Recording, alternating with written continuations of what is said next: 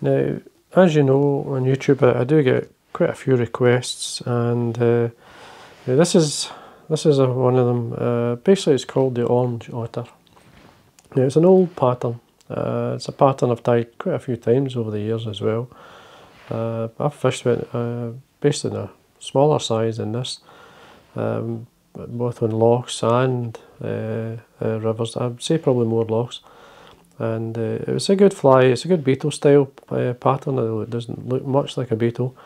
Uh, best known for the soldier beetle, which is a well, soldier beetles can be in different sizes. They're around about this size, size 14. They can be quite red as much as orange or so. Uh, the, the, orange works, it's a good one for both a, a beetle-like pattern as well as uh, the soldier itself. Um, it's a good style fly, it's how to tie it. Now, there's two or three, a couple of versions I've used. This is this kind of like standard one.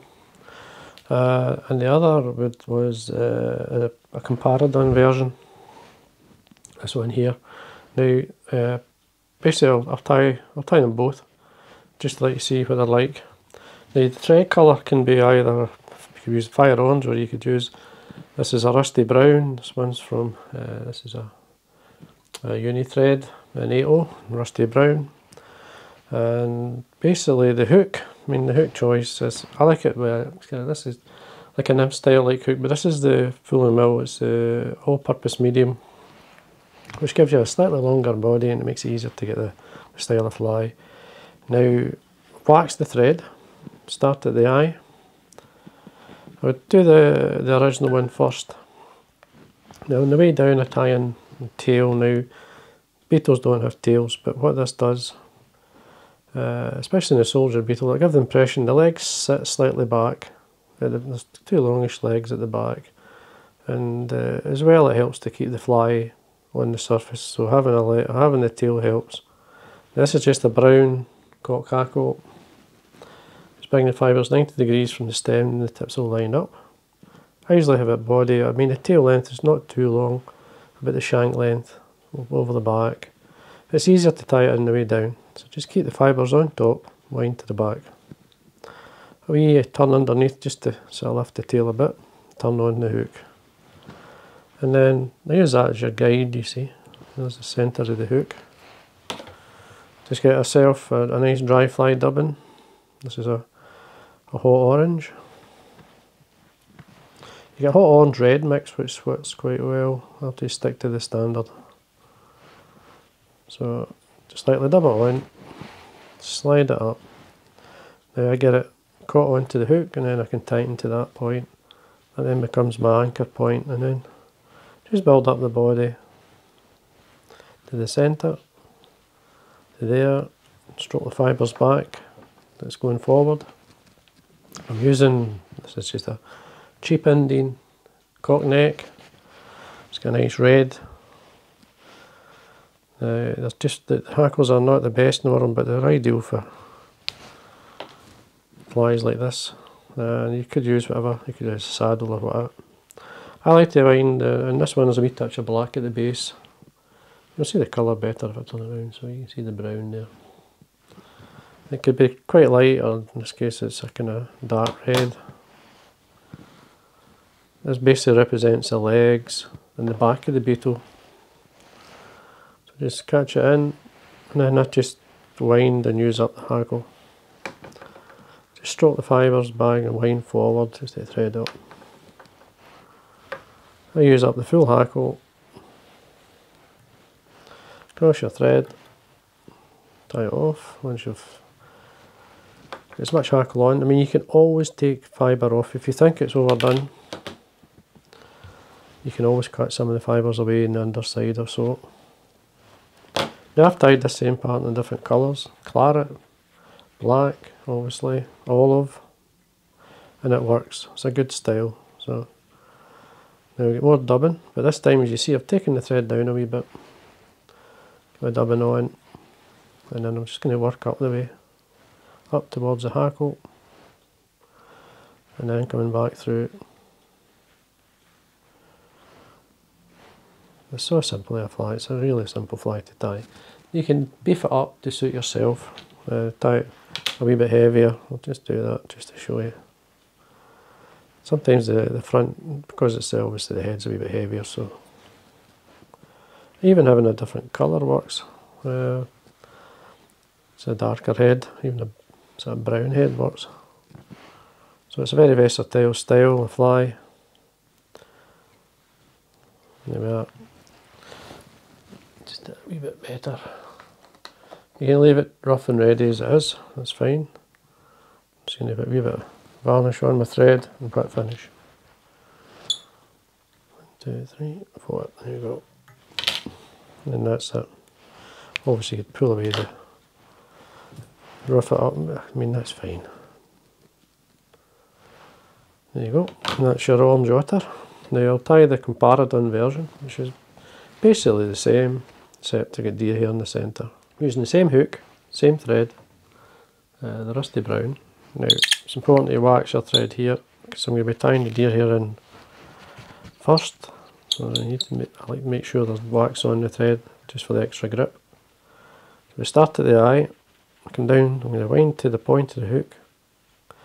Then I'm going to come back up, make sure I'm about the halfway mark, between the halfway the centre of the shank. Tying some deer hair now the deer hair I'm using, this is a, a roe deer that I've dyed cinnamon. Now it just gives it the right colour for the to replace the hackle. It can be light or dark. Hot orange is quite good, the roe deer dyed hot orange, it's quite nice. So if you've got that, or even if you haven't, just use the natural. I'm removing the fluff, the sorry, and any broken ends. Makes it easier to stack and tie in. So we tips into the stacker and we tap it on my desk.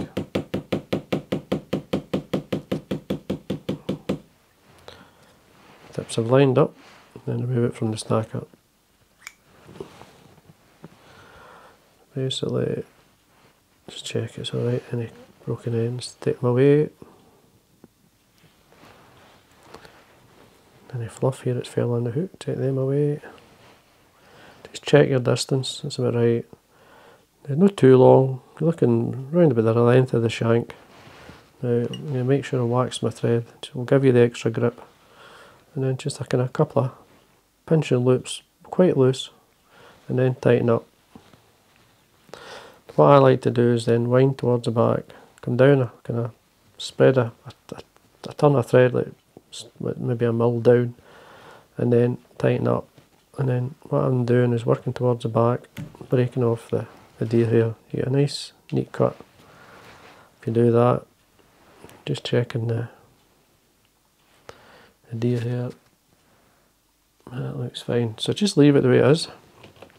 Then you get a hackle from the cock neck the actual red. Need some of the fibres for the tail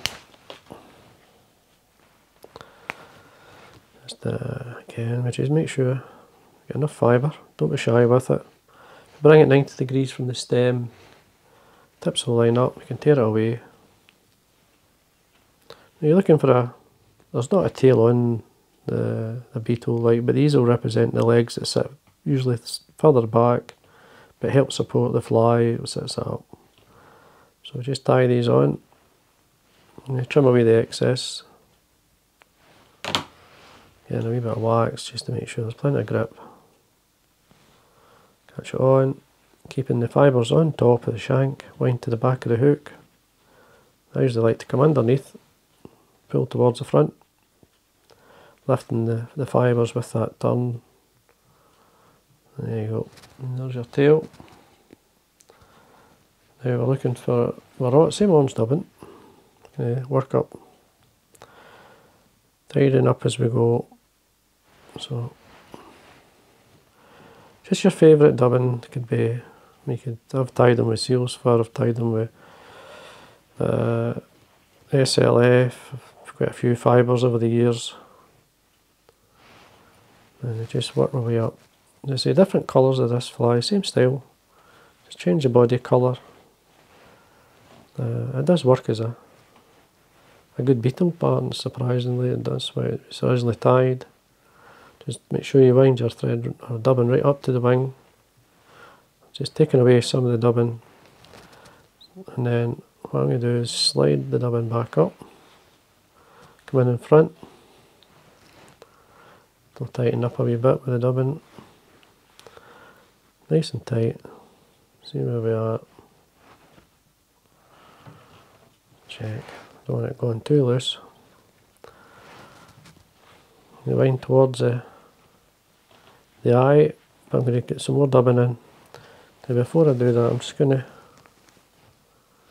uh, just trim some of this a wee bit back. It's a wee bit long.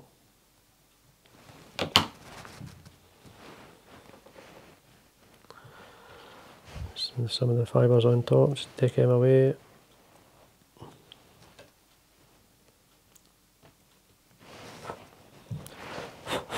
Pull it. There.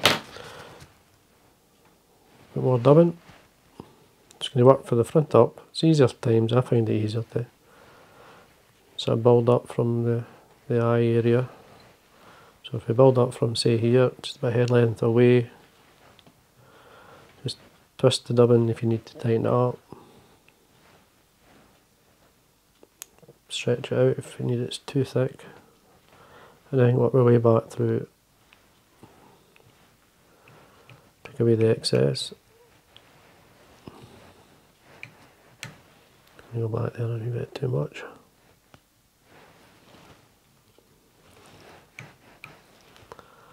Then small head with the thread. Uh, like we did before, just a wee bit of varnish on the thread. Then quick finish.